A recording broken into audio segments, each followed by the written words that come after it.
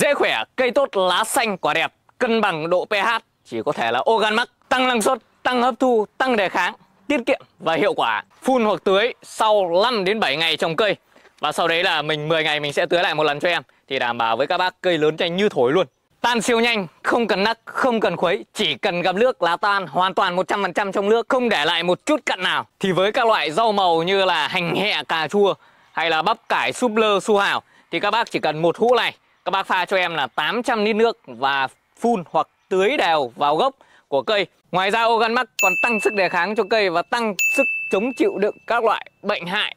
Từ đó sẽ giúp các bác giảm đi cái chi phí sử dụng thuốc bảo vệ thực vật. Như các bác cũng đã biết là phun thuốc bảo vệ thực vật vào thì rất là độc hại. Vì nguyên nhân đó, các bác lên sử dụng Organ tưới định kỳ cho em là các bác không cần phải là phun các loại thuốc bảo vệ thực vật khác.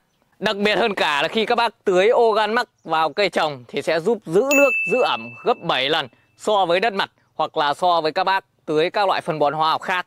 Thì đây cũng chính là một trong những cái yếu tố để cho các bác nào đang ở trong cái vùng hạn hán, vùng hiếm nước thì các bác có thể sử dụng sản phẩm Organ Max để giúp giữ nước cho cây trồng tốt hơn và được lâu hơn. Hiệu quả thần tốc mà còn giúp tiết kiệm chi phí dưới 350.000 cho một hecta thì đố phân nào rẻ hơn được. Và đặc biệt hơn cả là trong duy nhất ngày hôm nay, chỉ duy nhất ngày hôm nay thôi. Các bác mua 3 hũ em tặng cho các bác một hũ, các bác mua 5 hũ em tặng cho các bác hai hũ và đặc biệt hơn các bác mua 10 hũ em tặng cho các bác 5 hũ, tặng thêm các bác một chai diệt cỏ hỏa long. Để đặt hàng thì các bác vui lòng để lại số điện thoại ở bên dưới đây thì bên em sẽ có chuyên viên tư vấn cho các bác để phù hợp cho từng loại cây trồng và phù hợp cho từng giai đoạn của nhà các bác. Chỉ duy nhất hôm nay thôi, các bác hãy nhanh tay để lại số điện thoại.